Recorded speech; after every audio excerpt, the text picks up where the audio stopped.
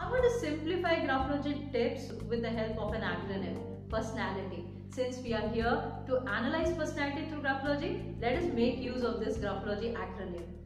Let's start with the letter P. Now letter P here signifies precision.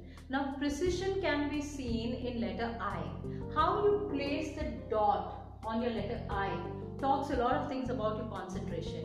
So now precision can be seen in this type of letter I wherein the dot is aligned with the stem bar here right? Now uh, placing a dot on the letter i means making things clear. It means concreting some issues without leaving a room for doubt now if I talk about letter I, these are the three types of letter I that we're going to see now. There are many other types, you know, different writers come up with different types of letter I.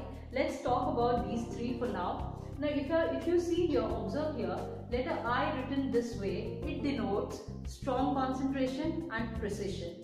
And this type of I, wherein the dot is either placed on the right side or left side, this denotes lack of attention, lack of precision. And when you look at this letter I, where the writer has totally forgotten to place the dot, so very often when uh, this kind of handwriting is seen, this shows, uh, this denotes actually laziness and negligence. Let's talk about the second letter in the acronym, letter E.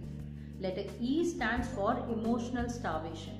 Emotional starvation can be seen in many handwriting samples nowadays. Now notice this one. Notice how the ending stroke curves up and moves to the left of the word, hovering above it like a protective covering. Now, this denotes that the writer is very tired of taking care of everybody else and is deeply yearning that someone should take care of them for change. Now, this is called as emotional starvation, which can be clearly seen in the ending strokes.